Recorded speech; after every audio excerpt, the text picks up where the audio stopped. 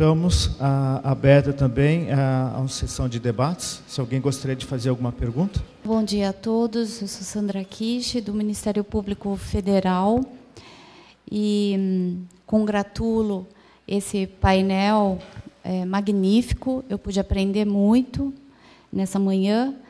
Eu gostaria de saber, por favor, dos, palestrantes, senhor Palmer e o Eric, eh, quando falaram em planejamento colaborativo, como é que se exerce efetivamente planejamento colaborativo, participativo, é, com quais mecanismos além das além de reuniões, sucessivas reuniões, os senhores comentaram muito diálogo, né?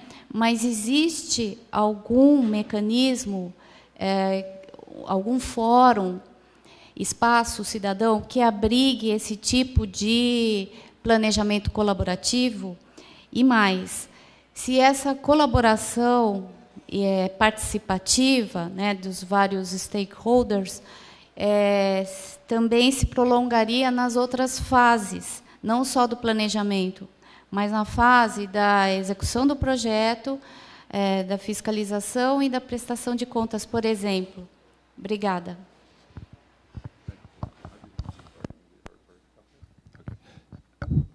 Uh, thank you very much for the question. Oh, thank you for the question. Um, there's some specific approaches that we have taken in the past. And I really appreciate your comment about meeting after meeting after meeting, um, because it can be very tiring. And you can lose stakeholders because they do not feel like their work is appreciated or they're really part of a, of a decision that helps things. So Bill referred to this, but we um, used an approach called circles of influence. So Bill described it without giving it the name, but the notion of circles of influence is, as Bill described, to identify those people who are most respected in their particular fields, whether they're water law or whether it's environmental impacts. Bill spoke of hiring them, and they don't always have to be hired, but you would build a very strong core group of individuals who represent others. So stakeholders can get weary and tired of meetings, but if you can have a select few individuals to represent the major issues, and those individuals can influence people at another circle of influence, at a broader circle of influence. They can report what's happening back to those groups. So you as the core planning group doesn't do not have to talk to everyone all the time about everything. You use this network of active, engaged inner circle people to help carry your message.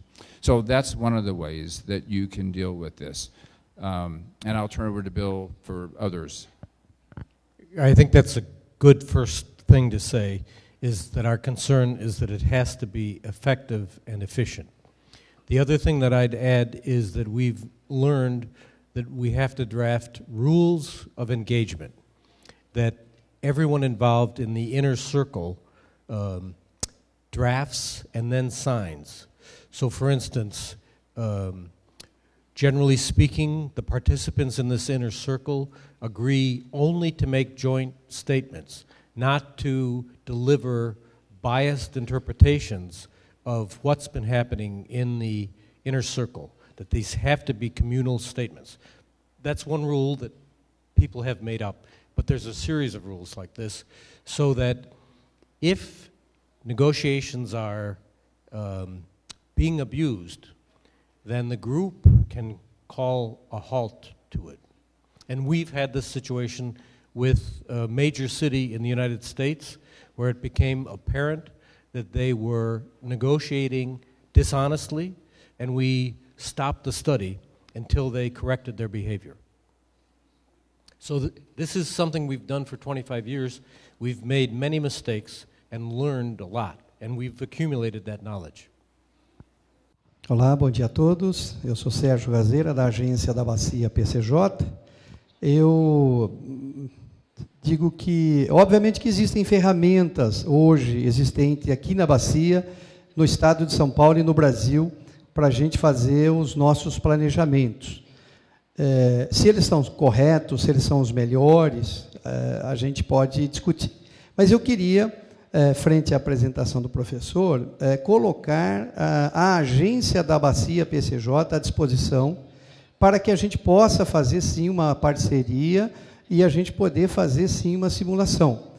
É, não posso falar em nome do comitê da Bacia e muito menos é, do Sabesp e outros é, importantes é, participantes desse estudo.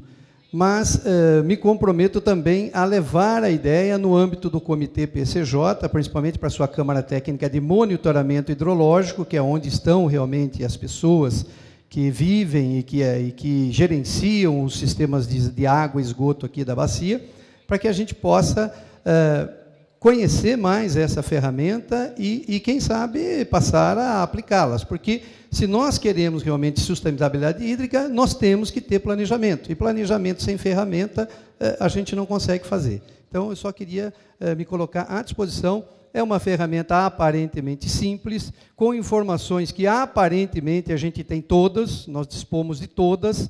Eh, então, seria interessante que a gente fizesse algumas, algumas simulações, se isso for possível. Muito obrigado. Sérgio, pela pelo interesse e pela disponibilização, né, da, da o, a sua disponibilização pessoal de levar essa informação à frente. É, muito obrigada pelo comentário e também pela pergunta. Só queria fazer uma, uma observação.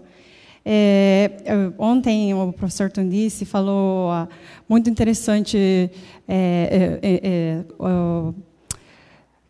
que, que as pesquisas podem trazer né, para esse tipo de, de circunstâncias, que não seja só uma discussão acadêmica. E eu acho que aqui a gente está tá, tá vendo que ferramentas acadêmicas podem ser trazidas ao âmbito público. E a importância disso é, é uma coisa que ele falou, que é, não estamos criando só another uh, just one more book, só um livro a mais ou um, um uh, relatório a mais, porque essa ferramenta que que a gente tem uh, é, é, mostrado hoje e tem sido usada em, nos Estados Unidos é, traz os stakeholders para conversar e chegar em pontos quando pensar, falamos de mecanismos para atrair essa colaboração é, é para fazer decisões juntos. Decisões como o quê? É, que nível de ah, é, gatilho a gente está confortável em, em colocar? É 50% do, do nível do reservatório? É 25%? É 10% do nível do reservatório que coletivamente a gente quer tomar esse risco. Então, não é só uma questão de um paper. Estamos falando de vamos decidir coletivamente o que, que a gente acha é um risco aceitável. Também são as, os indicadores. O que, que é um indicador que todos nós estamos dispostos a usar como, como um indicador é, que estamos entrando em estiagem? São as vazões, é o, o Standard Precipitation Index, o SPI, que é usado pela NASA. É o Palmer é, Drought Index, que existe um, um, um índice de, de estiagem. Pode ser vários índices que a gente usa, mas precisamos entrar em um acordo de qual que vai ser o indicador que mostra para a gente que entramos em um momento crítico. É, é, terceiro tipo de decisões que podem ser feitas juntos, o tipo de respostas que vão ser. Então, quando chegamos, vimos que o indicador mostrou que estamos entrando em um momento crítico. E os gatilhos, o porcentagem que a gente chegou em acordo, é, também estão sendo ativados.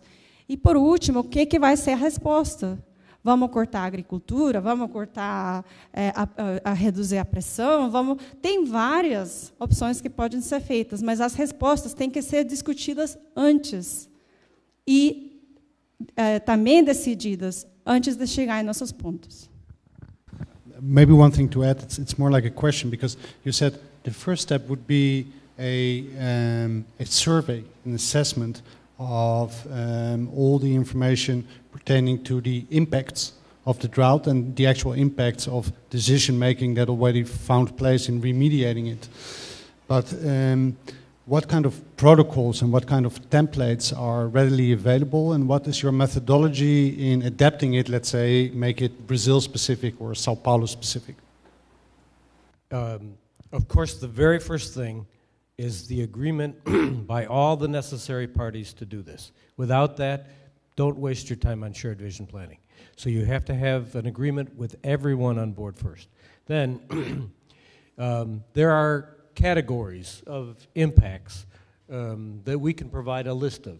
So, for example, um, uh, there are industries who use water, and we know from experience that if they lose water for a short period of time, they lose production, they may lose revenue, there may be layoffs.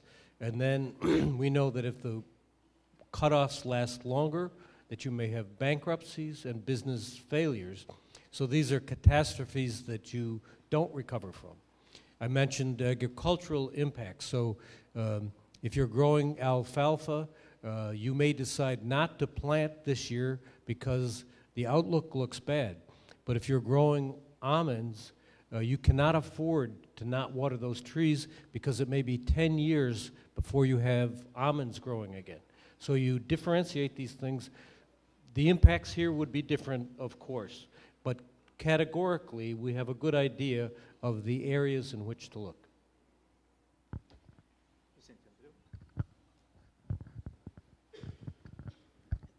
É, eu gostaria de falar um pouco sobre isso, sobre a pergunta anterior também. E um detalhe que eu esqueci de mencionar, mas foi aqui já agora apontado, é a ausência também na nossa legislação, em função da natureza apontada para a água na nossa Constituição, é a ausência de instrumentos econômicos para a gestão de recursos hídricos. Nós não temos instrumento.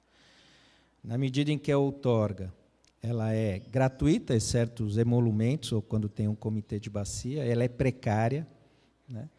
Você, e, e, também pela nossa tradição aqui a respeito da água, e diversas visões, é um problema até cultural, nós não temos instrumentos econômicos que permitam que você possa migrar para o uso mais eficiente da água em situações de crise. Isso é uma realidade. Eu tenho também trabalhado a questão de que, quando a gente fala em mercado de água no Brasil, isso soa é, maneira da privatização, tem um conteúdo ideológico muito forte. Mas, na verdade, nós precisamos discutir, e eu acredito que, para a nossa realidade, nós precisaríamos estabelecer mercados restritos de água e temporários e públicos. Então, você faz isso numa determinada região, ele é restrito, ele é temporário, porque depois daquilo você retorna à condição oficial, à condição anterior, e ele é público, para que as pessoas conheçam quais são as transações que são feitas lá. Agora, a ausência desses instrumentos, ele dificulta sobremaneira como é que você pode fazer uma alocação eficiente de água na medida em que todos os argumentos são legítimos e que você não tem um instrumento para poder, eventualmente, é, negociar esses interesses de maneira pública, transparente e que não seja a mercantilização da água ou sua privatização.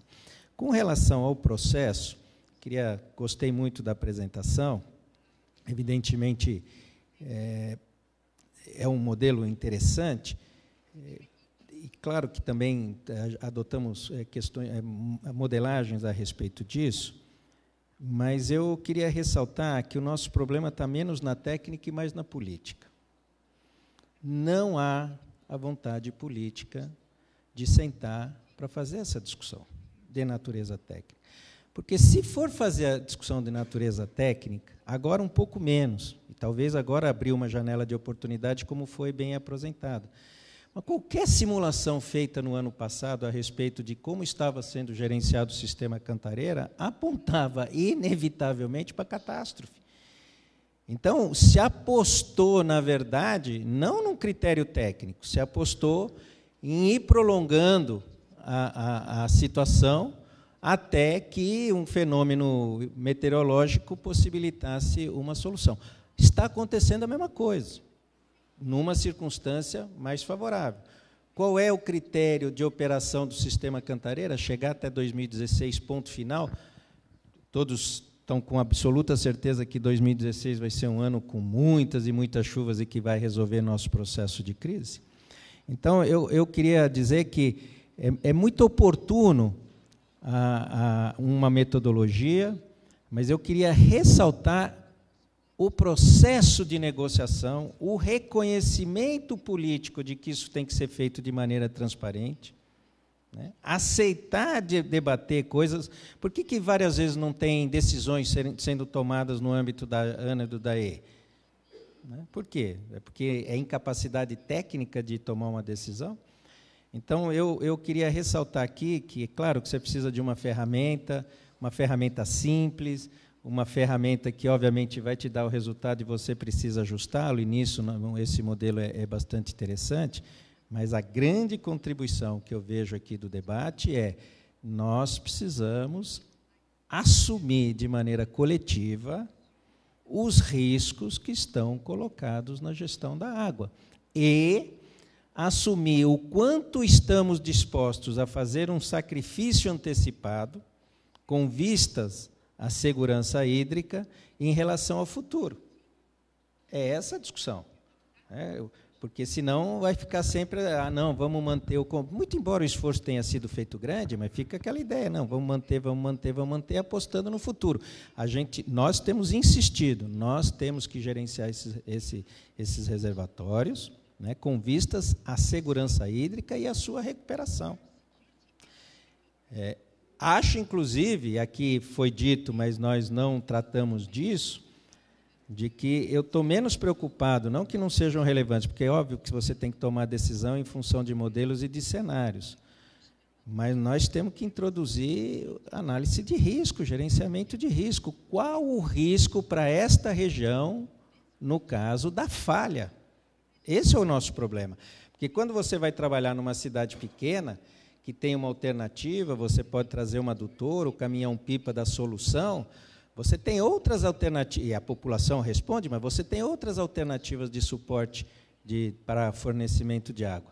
Agora, na, no nosso contexto, no nosso contexto, e aqui eu vou falar só de PCJ e região metropolitana de São Paulo, porque obviamente os demais reservatórios de São Paulo estão numa outra circunstância, mas quais são as alternativas concretas que nós temos para garantia mínima do abastecimento numa situação avaliando o risco daquela situação acontecer? Não há. Não há. Essa é a grande questão crítica.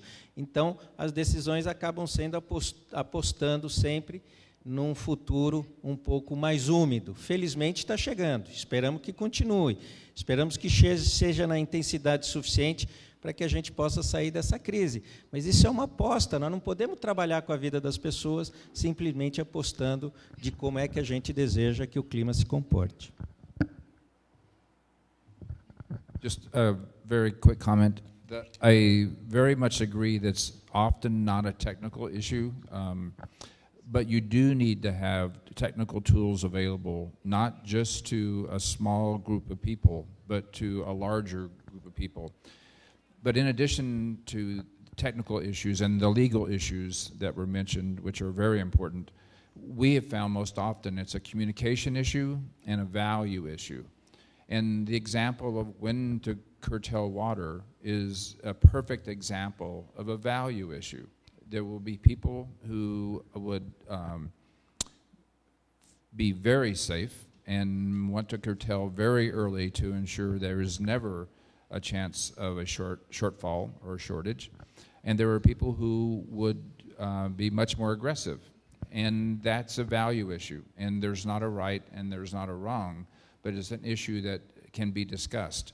Um, to, this morning, I read in the newspaper in the city of Seattle there was a headline that there was a uh, potential drought, and their reservoirs are full How could there be a potential drought? It's because there's smaller snowpack than normal in the mountains. Agora, talvez no setor não de saneamento, mas de recursos hídricos, mudando também a, a forma de, de dar domínio da água, que está, está sendo uma peça de, que está atrapalhando né, as negociações, domínio da água por curso d'água e a gestão por recursos hídricos. Mas tem que ser participativo e esse modelo que nós temos de, de gestão, eu acho que é um dos mais avançados do mundo, só que ele não está funcionando justamente pela falta de uma vontade de deixá-lo né, funcionar.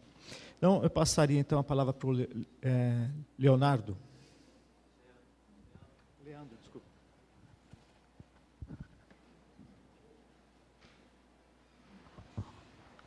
É, Leandro, sou do portal Hortolândia News. A minha pergunta vai dirigida ao Daniel, é, mudando um pouco a temática. É, em Hortolândia, lá eles construíram um shopping é, em cima de nascentes, né? Acabaram com várias nascentes, era uma região. Ah, inclusive, ao lado do shopping existe um pesqueiro. É, e construíram um shopping ali, acabando com todas as nascentes, ou, ou conduziram ela para algum outro lugar, né? Aí vendo os projetos que você mencionou, é, eu lembro, isso já tinha vindo na, na minha cabeça algum tempo atrás, se não seria possível se construir um shopping é, de forma ecológica, né, igual algumas imagens que eu pude observar ali. É, existe essa possibilidade? É viável aqui no Brasil? Ou seja, é, tendo essa parte de modernidade, mas ao mesmo tempo preservando as nascentes, alguma coisa assim. Just, just let me recap that I get the Portuguese right. So the, the question is if it's possible to integrate, let's say, a project like shopping mall um, just with the headwaters or springs. Uh, this is the question, right?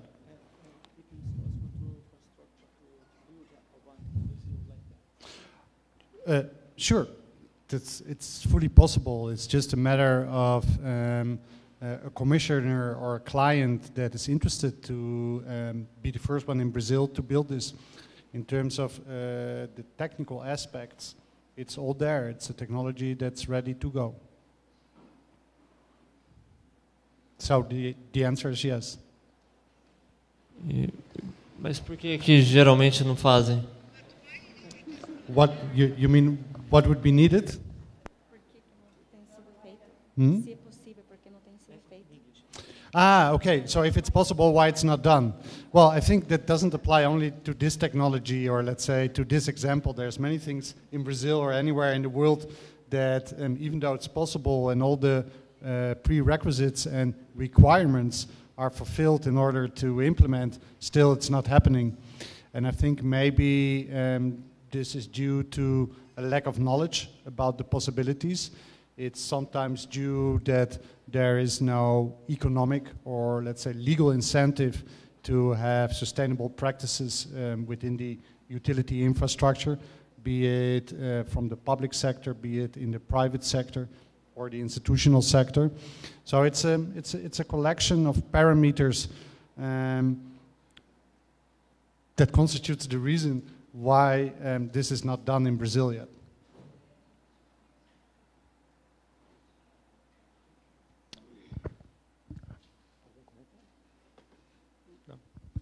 Cori?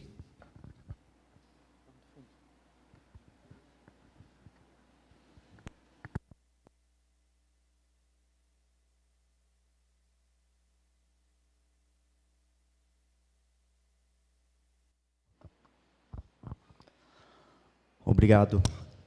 Eu sou Corey, da Clean Environment Brasil. Eu venho morar aqui no Brasil faz quase três anos já. E primeiro Quero agradecer aos organizadores, coordenadores desse fórum, que eu acho que vem sendo um, uma discussão bem positiva. E eu tenho umas perguntas quanto ao modelo ah, dos senhores dos Estados Unidos, e eu, eu vou fazer essas perguntas em inglês, porque é mais fácil. So, uh, first I want to thank you guys for presenting your model because uh, for the last year in the media, we've seen so many devastating and catastrophic images that it's almost paralyzing to the point where you say, well, the world is going to end and what can we do? And, you know, the articles don't really present any solutions. So it's really a breath of fresh air and brings hope, this idea of a unifying model uh, to help the recovery and then the long term planning. So, first, I had some questions that were already mentioned a little bit, but how do economics and water quality and these things factor into the model? What about dynamics going into the future? There's some variability. How are these factored in? Um, also, you mentioned this part about reco- a recovery model, which could be the pilot study. So, this would be sort of like a, a, first test, and then you go into the long term uh, preparation plan like you've done in the United States. Is that the idea? Just wanted to understand. Also, what is the time frame for the recovery model now that we're kind of at a stage where, yes, it seems a little bit more calm, but I, I think it's still kind of on the brink. So, just that was pretty much it. Also, one other question How has the response of the model been in California now that California has gone into a drought? Um, has the model responded well and that because this kind of verification will be important to kind of sell the model here. So, thanks. Okay, uh, let me see if I remember all your questions too. Um, first of all, the model we showed today is very simple. It has no water quality or economics. So if you were to do this, that would be part of the first meeting discussion. Are those important in the decision that you're going to make? And if they were, then you'd have to find a way to answer the questions that decision makers had about water quality and economics. And this would get back to the impact assessment. Let's say um, we really need to know how water shortages will affect the tulip industry then we'd find a way in our public process to involve tulip farmers. We'd find papers written on their water needs, uh, their responses when they don't get enough water, and we would model that so that we could test that in different scenarios. Um, where these kind of models have been used uh, in the United States and other places, um, we have, I, I would say, two types of experience that I think would help address your answer. Uh, the first is um, we have seen um, that people can respond to emergencies much more quickly and effectively because they have uh, common knowledge and they're confident um, that the answers that they're getting are correct. So, for example, Professor Palmer worked with groups in the Seattle area where an operation with the reservoirs every year would take months to negotiate, and this was because uh, there was a high level of distrust of the Corps of Engineers uh, that people were getting the information that was actually true. Once uh, Professor Palmer was able to build this kind of a model uh, with even uh, Native Americans who he trained at his university, who we bought computers so that they could have this information. These negotiations were reduced to a matter of hours. So we know that when the models are used in operational context, they can actually make the response better. The second broad response I'll give you is that um, we know that the models are good, but they're not perfect. So, um, in the larger studies where we've, used these, uh, they are really the precursor to adaptive management.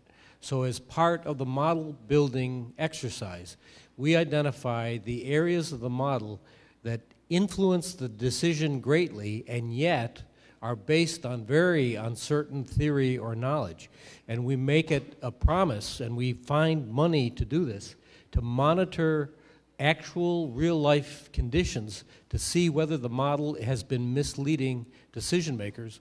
And right now, I'm engaged in a process where we have to report back in 2017 about any errors in the model that I built a few years ago that are making our decision inferior.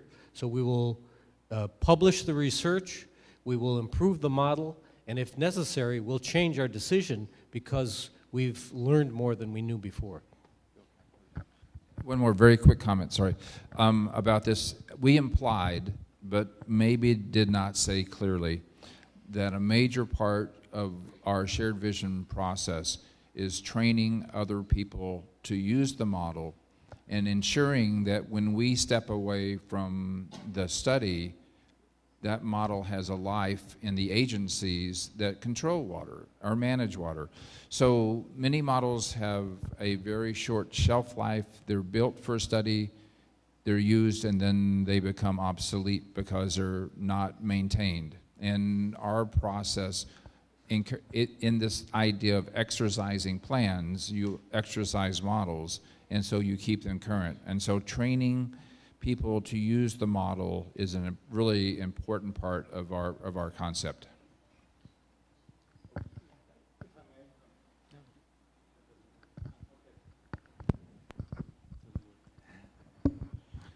Well, I, I, what I would like to ask, and uh, I understand is it's, it's, like it's a complex uh, thing to elaborate upon, but maybe you can um, briefly point out what it entails to um, transit from a, let's say, um, from a virtual model to, to an actual uh, adaptive water management model that is being used um, also, I can imagine, in a, in a, a collaborative way.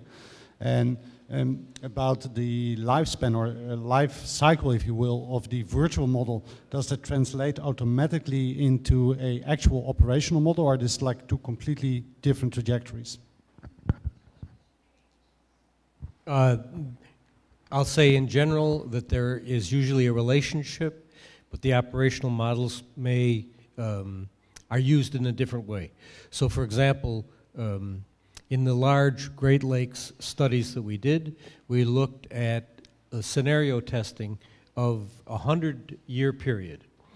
Um, when we publish our 2017 report, how did the models work? Did things turn out as we expected? We will change the scenarios to three year periods from 2014 to 2017, and we'll use actual water data. So there's always that kind of uh, transformation.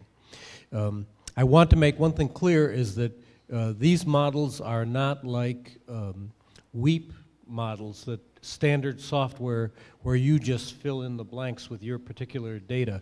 Uh, we come to each situation with an open mind uh, and we say, what is the appropriate software? So we used to model uh, using a software called Stella.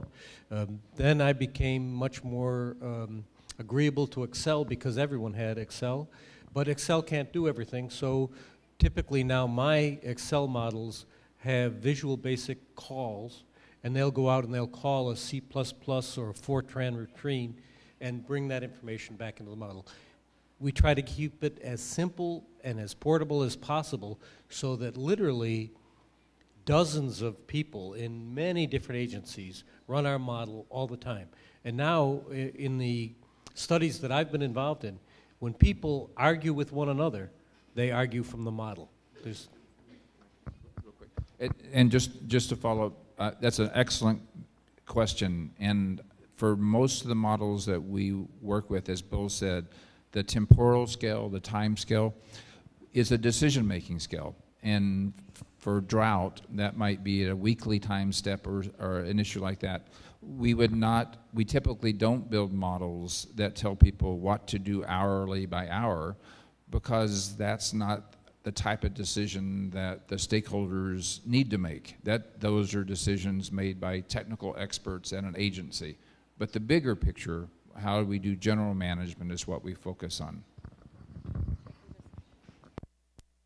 Uh, if I can just add, uh, esse posso é, é, só fazer um comentário é, antes de mesmo como engenheiros antes de fazer o pulo de vamos construir mo modelos vamos fazer modelagem a gente sempre, e é uma discussão que temos entre nós mesmos, sobre essas regras de, de, de rules of engagement que o que o Eric uh, falou, regras de, de um, engajamento, é.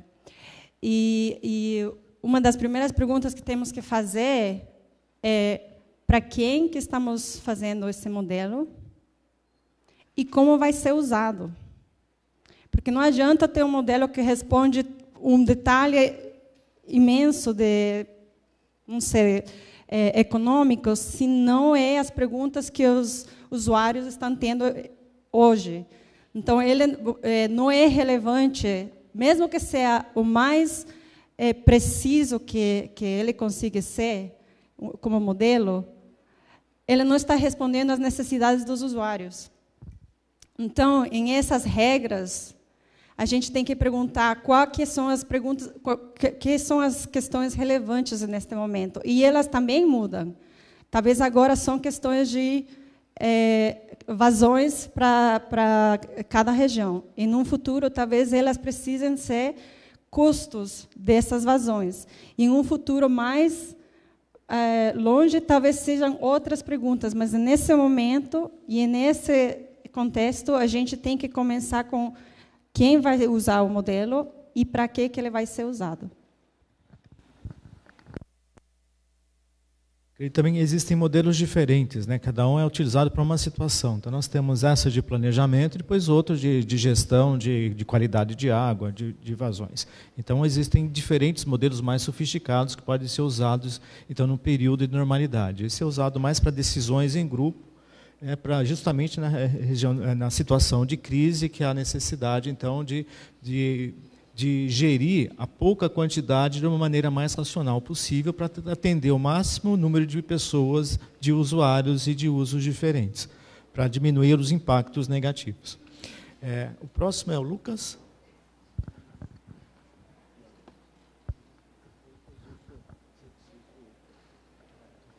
É, o doutora Vicente Andreu ele tem um compromisso, ele vai ter que é, deixar a mesa. Agradecemos então a participação do presidente da Agência Nacional da Água. Obrigado.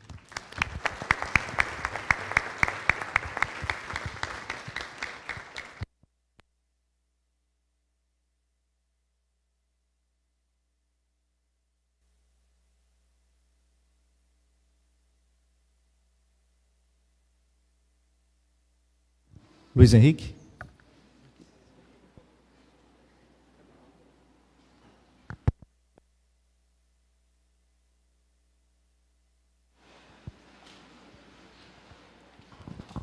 Boa tarde. É, eu sou estudante de graduação, Luiz Henrique. É, faço engenharia hídrica na Universidade Federal de Itajubá. A minha pergunta, a princípio, seria para o Dr. Vicente, é, relacionada à questão da, das outorgas. Por exemplo, em um, em um trecho de jusante de, de, um rio sobre domínio federal, o que, que acontece se um afluente que seja sob domínio estadual é, tenha um uso inadequado ou não consiga fornecer água em quantidade e qualidade suficiente? Essa seria uma pergunta. Mas também gostaria de elogiar a iniciativa do fórum e é, essas propostas, esses debates são muito interessantes, as palestras em si, e também elogiar o modelo, que parece ser bastante útil em tempos de crise e também passível de bastantes aplicações nas, nos diferentes cenários, é, adaptado às diferentes bacias hidrográficas. O Vicente Andreu ele deixou a mesa, e, então eu vou responder, vou tentar responder sua, sua questão. Existe enquadramento né, dos cursos d'água, enquadramento de qualidade e classes. Então, se não tiver em qualidade, é, é, você tem a classificação desse rio e em cima dessa classificação que você dá ou não outorga para determinados usos. Então, a qualidade. Se não tiver em quantidade, nós estaremos é, não tem disponibilidade hídrica nem por qualidade nem por quantidade. Então, o, órgão regulador ele tem que saber é, gerir o recurso qual que é a vazão que pode ser, uh, ser dada ao outorga. Então, se ele não tem água suficiente, a outorga dele é muito baixa. Então, você já tem uma situação de escassez hídrica. É o que nós estamos vivenciando hoje. Então, a outorga, no caso de rios estaduais, seria do Estado. Em São Paulo, a ANA delegou ao DAE a prerrogativa de, de dar outorgas, mesmo no, no, Rio sendo, sendo federal. Por isso, essa dificuldade, talvez, de resolver, porque a ANA não pode interferir, porque ela delegou ao Departamento de Água e Energia Elétrica o direito né, de, de fazer outorgas no Estado. Seria, então, Silvio.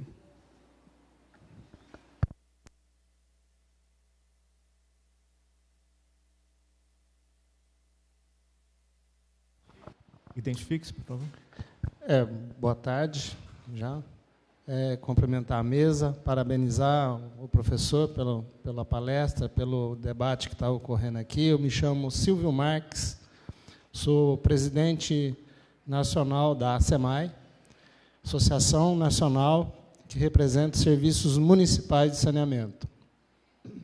Eu tinha uma pergunta também para o Vicente, mas ele teve que se retirar e eu também deixo para a mesa é, que eu acho pertinente para esse debate. Eu olhei atentamente o, a exposição dos dois palestrantes em referente aos modelos que vocês apresentaram do ponto de vista de fazer gestão de sistema produtor de, de, de água para abastecimento de vários usos, mas, no caso específico, me foco muito no abastecimento público.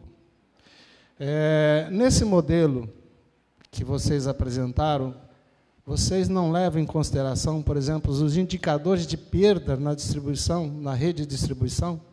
Esses indicadores eles não podem, de fato, impactar ah, o sistema produtor se eu tenho, por exemplo, na capital paulista, na, na, na região metropolitana, um indicador de 30, uns dizem 34% de perda, outros dizem 38%, e foi feito investimentos pesados para se conseguir redução dos, dos indicadores de perda no sistema de distribuição e nós é, estamos, pelo menos, observando ainda esses, esses investimentos e, e a redução muito pífia, muito pequena.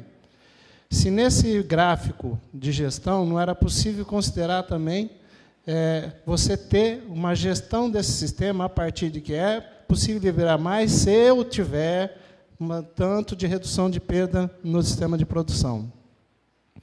O outro indicador, que assim mais é mais também, viu, professor, um pouco mais provocativo, é, no nosso caso, o, além dos indicadores que a gente teria que percorrer, tem um indicador político. Né?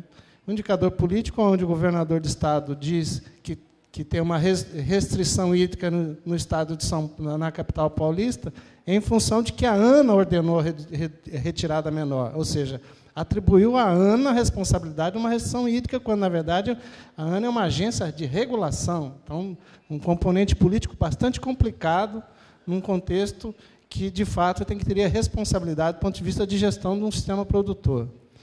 É, e a outra provocação, e eu não sei quem pode me responder, que seria Vicente, é com relação à é, a necessidade de fazer uma interligação entre dois reservatórios, que é o do Jacareí, com o reservatório do sistema produtor do Cantareira, chegando até o Atibainha, um investimento de 800 milhões, se eu não me engano, é o que pelo menos é o que está na imprensa, e, é, e, na verdade, são dois reservatórios que estão no, no mesmo sistema hídrico, ou seja, quando um está cheio, o outro também vai estar. Tá. Quando um estiver vazio, o outro também vai estar. Tá. Qual, é a, qual é a viabilidade? Quais, quais são os indicadores para se definir uma obra desse porte com, com, com a possibilidade dela ser bastante é, não eficiente do ponto de vista prático. Eu vou responder as, as primeiras duas perguntas sobre a parte política, fatores políticos no modelo e perdas. Os fatores políticos não entram no modelo, mas o uh, quadro de, de uh, trazer as pessoas a discutir fatos do modelo é um processo político. Porque na hora de fazer interações, negociações e a, a, a, abrir as, os valores, né, values que, que o professor Palmer falou, você começa a ter uma discussão não técnica, mas com dados técnicos sobre quais são os níveis aceitáveis de cada um. que em essa, em, na, no exemplo que o senhor deu, do, do Ana ter é, liberado, é, é, o exemplo que foi dado, né? Depois de um debate, houvesse saído da, de esse mesmo dia, com a ajuda do modelo, algum tipo de decisão que foi, que foi é, colaborativa e o que o Bill falou, foi assinada como aceitada por todo mundo nessas discussões daquele dia. Então, o modelo não vai incluir esses fatores, mas ele ajuda a discutir esses fatores. Agora, em questão às perdas, a gente não enfocou muito porque, em curto prazo, é uma coisa não muito viável. Mas, é, quando construímos esse modelo, a gente já levou várias é, é, é fizemos várias entrevistas e já levou para fazer esse modelo algumas questões que foram é, trazidas para a gente. Então, incluímos aqui, se você conseguir ver, redução de perdas no sistema da distribuição. Hoje em dia, a gente, é, na verdade, tá, ainda tem discussões de quanto ECE e a gente poderia discutir isso, mas vamos deixar que é, é mais de 30%.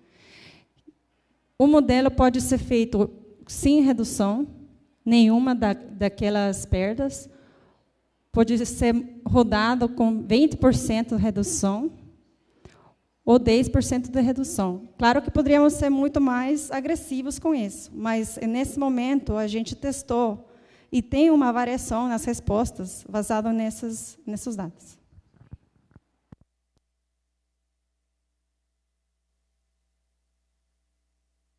Eu não, eu não posso responder pelo governador, é, mas no plano da macrometrópole, essa alternativa de interligação do, do sistema do reservatório do, do Jaguari para o Atibainha já tinha sido descartada. Acredito agora, com a notícia da, da semana passada, não, de ontem, na verdade, foi. Não, da semana passada mesmo, que a Sabesp pretende solicitar a outorga de 26 metros cúbicos por segundo porque é, isso no túnel 5 do sistema Cantareira.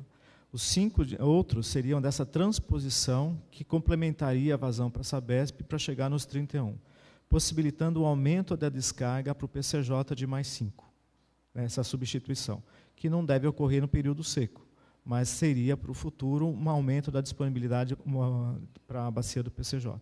Eu não posso responder para o governador, mas é essa informação que eu, que eu recebi. É, a próxima, Adélia.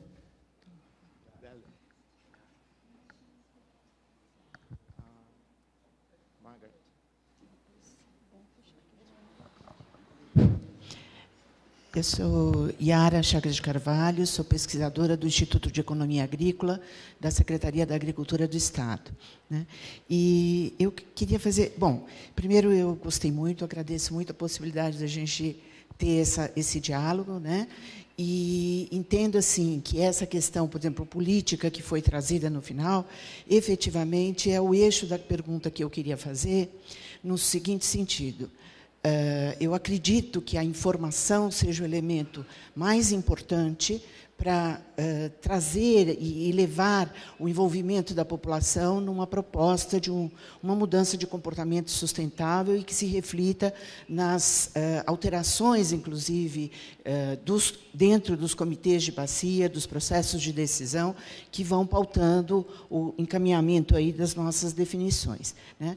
Então, é por isso que eu agradeço muito. Agora, a minha pergunta começa assim.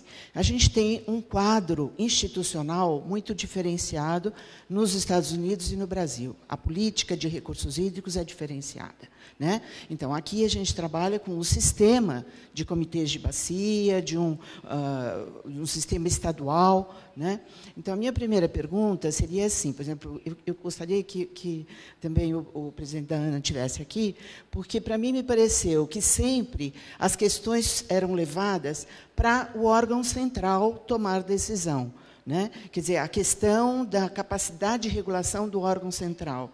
Embora ele tenha dito a importância de fortalecer o sistema, de fortalecer os comitês de bacia, não me pareceu que efetivamente se levou ao extremo essa ideia de que esse tipo de modelo poderia, ao escolher os stakeholders, tá certo? Uh, criar uma transparência muito maior dos processos de decisão, inclusive da outorga 2015. Né?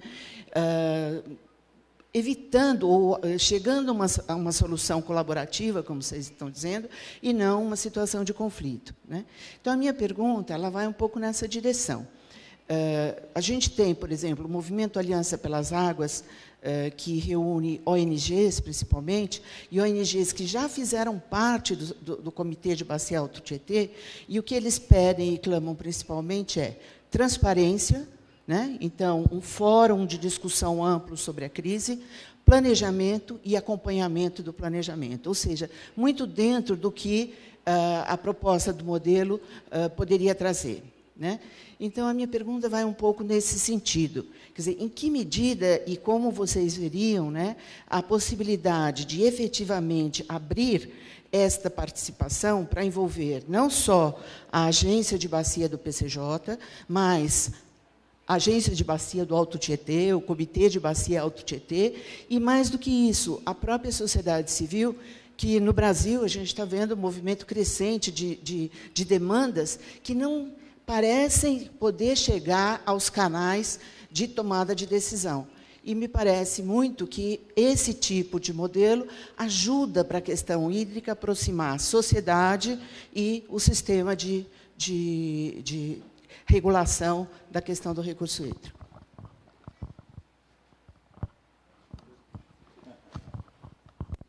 É, só é, fazer uma continuação do, do é, palestra que foi dada ontem da professora Keck, que estudou é, instituições e um, aqui no Brasil em questão de recursos hídricos. E acho que é, é, muito importante falar que o, o que ela falou, né, que é, leis não criam ações, instituições não caem do céu. E ah, para as pessoas tomar ações, é, simplesmente falar que participação é, é, exigida na lei não significa que, que fato, de fato, ah, sentar na mesa em si, de fato, não é participar. É ter uma voz e um peso para poder mudar as decisões. É, então, eu, eu, acho que é importante é, é, lembrar que, é, mesmo que a lei seja do Brasil, seja é, visionária em questões de participação, descentralização, é, integração, ela por si mesma não vai ser implementada. São as pessoas que têm que fazer isso.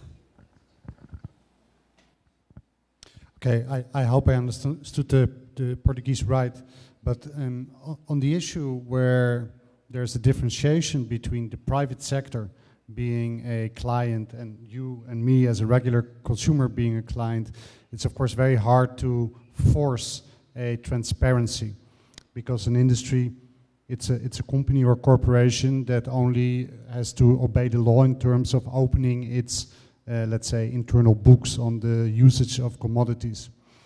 But um, what sort of revolutionizes or um, democ democratizes the process also of um, um, uh, forging a transparency uh, for the normal consumer vis-a-vis -vis the um, utility companies is when uh, through decentralization um, consumers uh, start to own the infrastructure. Now, in some countries, this is not possible because there's actually legislation in place to prevent the system um, for several reasons. But the moment consumers start to own infrastructure, then they, in a way, become like mini, um, mini private entities doing their own wastewater treatment, producing their own potable water, generating their own energy, etc., etc. This is not, again, this is not a function of the technology not being available because it is. It's also not a function of um, uh, that there are no references or this is not already operational. But to initiate this, for instance, in the Sao Paulo environment, um, it's difficult. That's why I stress again to create showcases for this type of practices, even with simple technologies, forces the debate with um, uh, regard to transparency, openness, and the inclusion of all stakeholders, uh, also the public stakeholders, uh, also the, let's say, the, the, the small consumer as a stakeholder. It really, in our experience, uh, puts them on the map.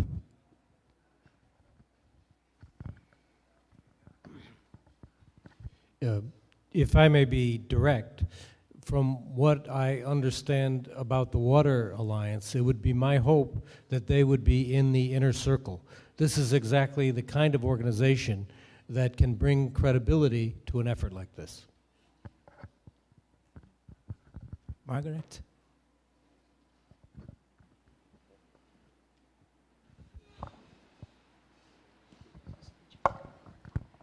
Sou Margaret Keck, da Universidade de Johns Hopkins, do Departamento de Ciência Política. Eu vou falar português, desculpe, mas estou tentando falar para mais, o máximo, o número máximo de pessoas na sala e espero que o tradutor está tá fazendo compreensível para vocês. O que eu queria dizer é muito ligado ao que foi o que foi dito agora. Uma das questões que eu tenho para vocês é qual é a escala em que vocês normalmente pensam em, uh, em adotar esse tipo de modelo e quem é que convida vocês?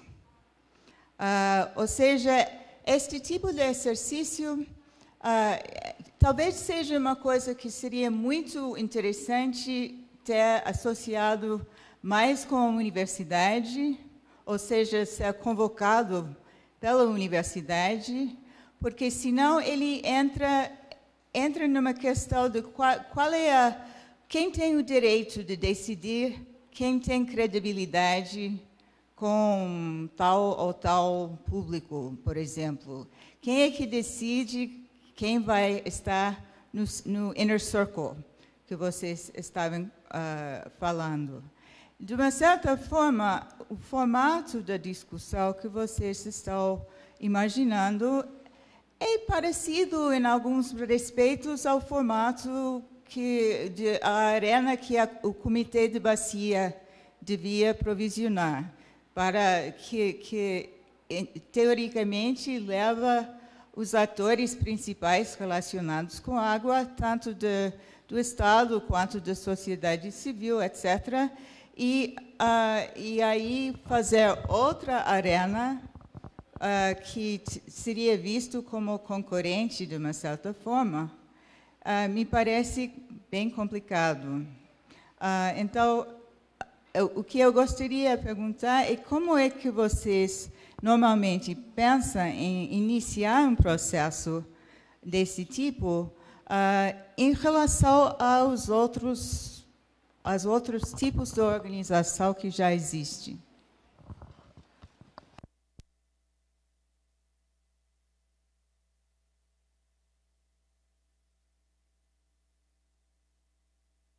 Let me respond to the scale and the invitation and the management of participation. So the scale can vary. Um, We've had some studies of relatively small, $100,000 US, some uh, 20 to 25 million dollar five-year studies. Okay, uh, the, the entire Great Lakes, or it could be a city. Um, each question focuses on what is the decision to be made. And so the essential thing for us, there are other people who build models that look like ours that are used to educate people, they're used for social justice. We must be involved with decision makers. So uh, when we build a model, it is at the invitation of the people who will actually make the decision, and the promise is that they will use the modeling process results in the decision making. The uh, question of who gets to participate is can be quite controversial. So, um, again, a standard checklist is typically speaking, in a drought situation, um, the policies have accumulated over time, and there are now multiple decision makers. So it isn't just the water supplier, it's the municipality who distributes it, it's the basin councils, and so you have to find all of the decision makers who could either approve or veto the decision, they have to be involved. Then you try to create this inner circle of stakeholders whose lives will be affected by the decision. And then the third group is you have to find the experts who know how to populate the information bases that you're going to use. And um, this doesn't always go smoothly. Sometimes it's very difficult. There are fights. Things stop for a while until you can go forward. Um, one thing we found um, that has to be said is that we can have an absolute promise, a commitment to a process, um, and then it goes to the governor. And the governor says, I didn't promise. So, you know, it can fail. It can fail. But we, uh, I'm, I'm proud to report uh, that the United States and Canada uh, just changed the way they manage Lake Superior, the largest freshwater lake uh, and it's a binational agreement, and they did it using the shared vision planning process.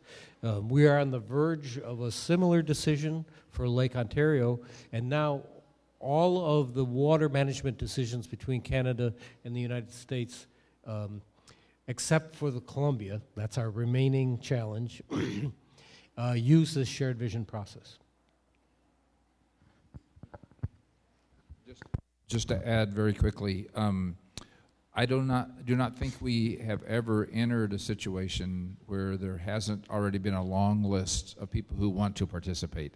So the challenge often is not um, rounding up people, but I think it's what you implied, which is finding those that will be the most constructive and those that represent, who already represent the largest group of people. And so um, th- this is an art, I would say, and not an engineering feat uh, to maintain people's engagement.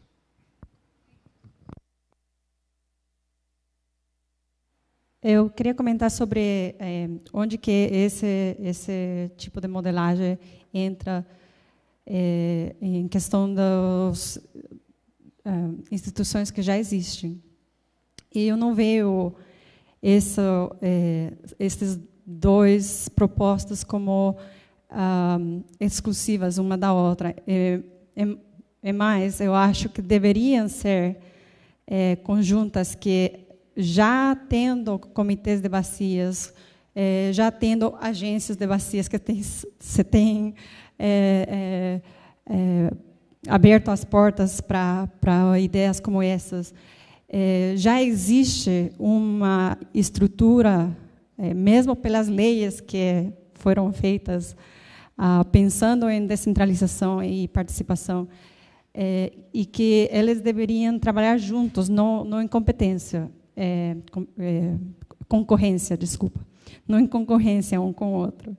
É, então, se os comitês de bacias e é, os próprios é, é, instituições que já existem abracem essa ideia de participação, de transparência, de abrir mão de dados, de ser mais a, a diminuir as assimetrias de informação, porque participação sem informação é, é, muito limitada.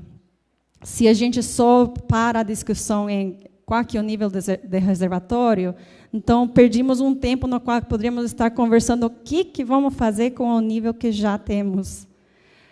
É, então, usar o, os, o, o, o é, as instituições, o, o, instrumentos que já existem dentro das bacias e a autoridade que já existe dentro de, dessas instituições seria o mais uh, produtivo e efetivo em, nesse cenário. Obrigada. Professor Ju.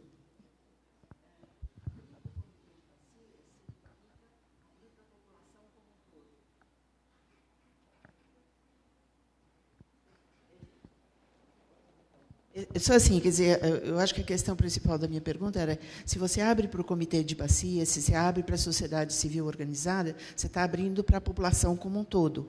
E, e, de que maneira isso afetaria o modelo? Né? A experiência de vocês, como é que isso?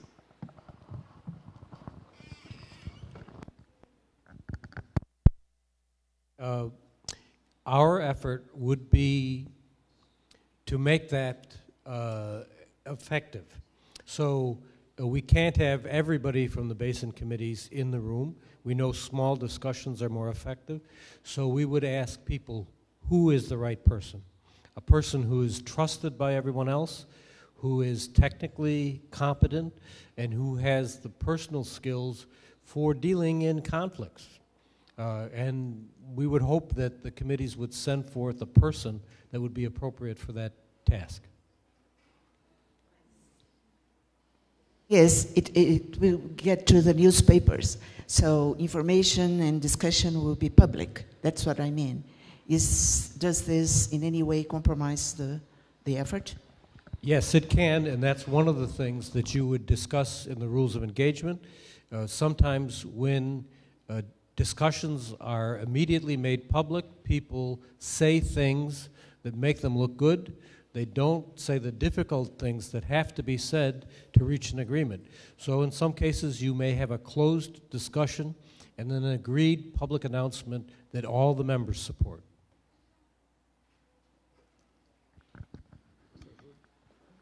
Bom, meu nome é Júlio, sou um dos organizadores desse, desse evento e eu acompanhei a questão da, da crise hídrica como uma pessoa do público, né?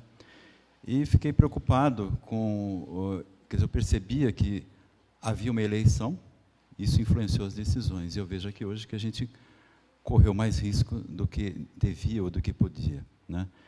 Possivelmente, se esse modelo estivesse sendo usado, acho que haveria mais racionalismo, mais razão nas decisões, e talvez não ficasse tanto na mão de um governador querendo ser eleito, supondo que eh, ele teria menos voto por conta do que estaria acontecendo, que eu acho que isso é muito questionável. Mas, de qualquer forma, eu quero inverter a pergunta e, e vocês, os dois professores, o Palmer e o Bill, né, uh, trabalham nisso há bastante tempo. E eu sei que os Estados Unidos e Brasil são países muito diferentes. Né? Vocês lá têm cultura anglo-saxã, nós somos colonizados pelos portugueses, virou essa bagunça aqui. Mas a minha pergunta é se vocês sofreram algum, vocês aplicaram esse modelo em várias cidades importantes lá, se vocês sofreram alguma pressão política no sentido do que eu falei no começo, de algum prefeito, de algum governador com interesse político para não aplicar o modelo ou aplicar ele de uma forma equivocada.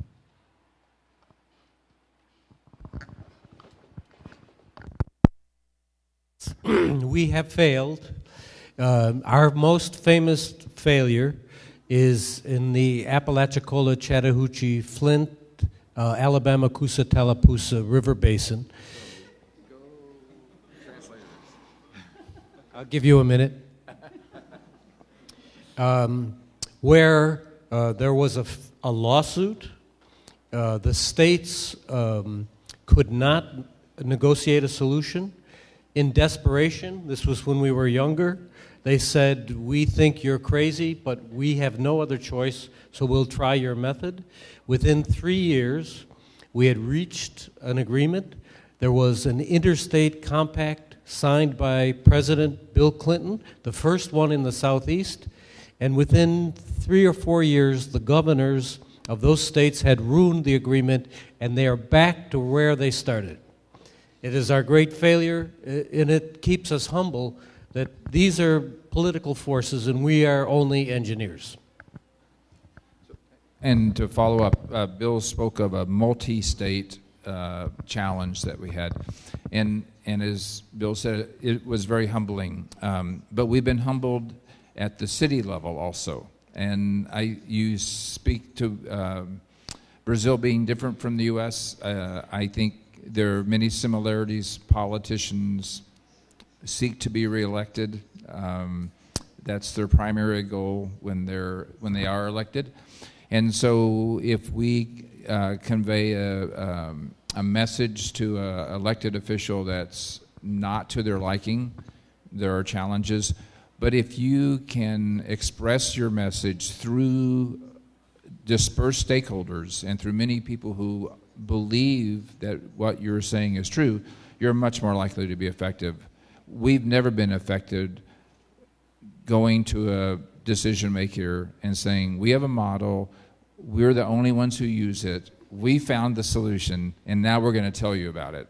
We can be effective if stakeholders in the region have that impression, not, not just us.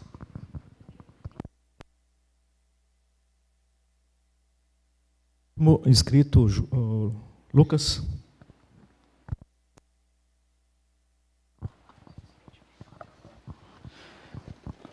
Oi, boa tarde. Meu nome é Lucas Sampaio, eu sou do jornal Estado de São Paulo. É, minha pergunta é para o Eric e para o Palmer sobre o sistema que vocês desenvolveram, sobre o Cantareira. É, se vocês fizeram projeções realistas do que está acontecendo agora no momento. Dá um exemplo. Fevereiro e março, a vazão aprovada foi de 15,5 metros cúbicos por segundo. E o efetivamente retirado foi cerca de 10,5. É, se pegar a série histórica de 2014 e janeiro de 2015, é, entrou no sistema 20% da média histórica. Fevereiro e março, esse número aumentou para 60%. É, vocês pegaram esses dois cenários, fizeram pra, projeção para saber qual vai ser o comportamento do volume do Cantareira e que resultados foram esses?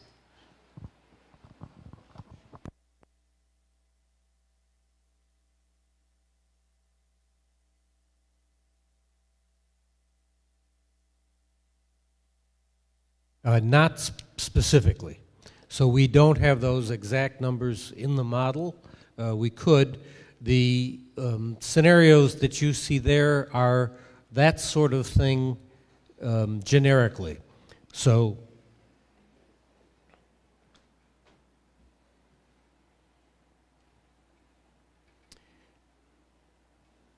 This is March 2015. This is about where the reservoirs are now. Each one of these traces is a two year period from history. So 1932, 1934, 1936.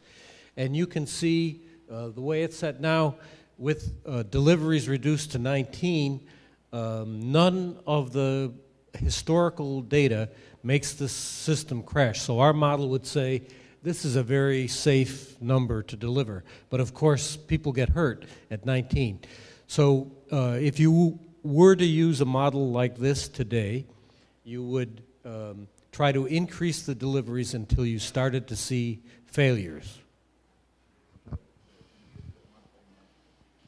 And you could do it month by month, as you mentioned.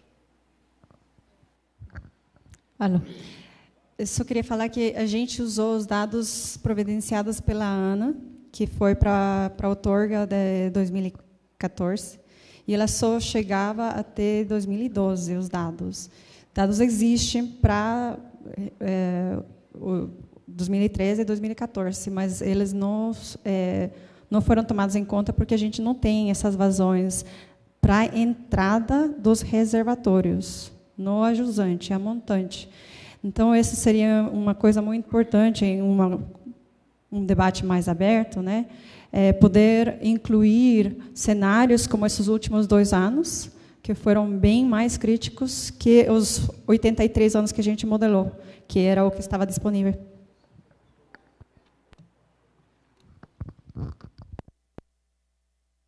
Say uh, one more thing, which is don't believe my model.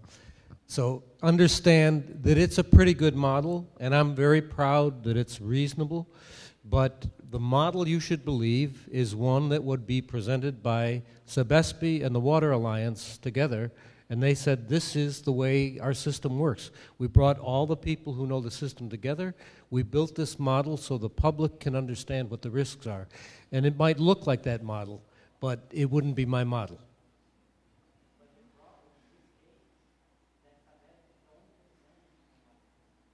That is the problem.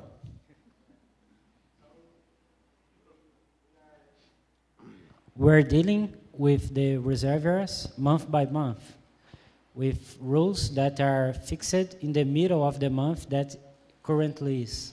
So you don't, the, the question and the interior are trying to make the conversation to to have a, a long-term uh, predict. Uh, you you can say in the end of the year, if the the rains will be in the in the media or 20% of the media, the reservoirs will be at this way. You don't have a long-term uh, projection. That's the, the problem of this crisis, the problem of the transparency of the numbers. So um, I think we agree that that is the problem. Um, and I'll repeat what Bill has said, which is a model has been constructed that is reasonable and plausible. Um, people are free to put in whatever data and demands they think will occur, and you can test alternatives. But again, to restate what Bill said, you should work hard at engaging Sebespi and other stakeholders into a real planning process where not only they believe they know what will happen two months, four months, six months from now, but that everyone knows what is likely to occur. You cannot do that with per perfect accuracy, but you can understand the range of things that might occur, particularly if you take specific actions. And that's the value of these kinds of models. Um, but we agree um, there's, a, there's a problem that is often not articulated uh, here. Encerramos a, essa sessão da, da manhã. Muito obrigado.